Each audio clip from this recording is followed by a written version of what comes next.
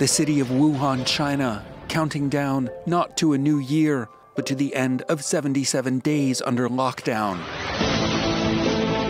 To mark the occasion, a light show on both sides of the Yangtze River with images of health workers who helped fight the coronavirus epidemic projected onto the city's skyscrapers.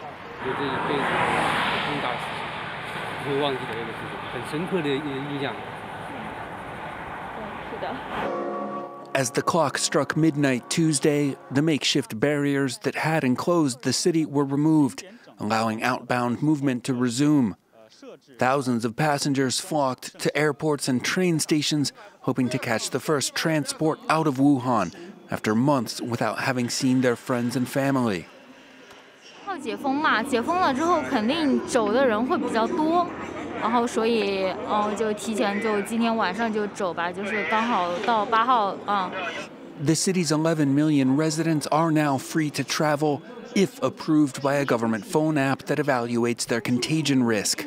Life is far from back to normal in a city that is certain to remain scarred by the outbreak for a long time to come. Schools remain closed. Residents are still expected to wear masks in public, limit their outings, and avoid large gatherings, as dozens of new asymptomatic cases of coronavirus have been detected there in recent days. The official death toll in Wuhan stands at over 2,500. Experts, though, believe the real number is likely far higher. Chinese officials remain vigilant, fearing a second outbreak sparked by asymptomatic cases and infected citizens returning from abroad.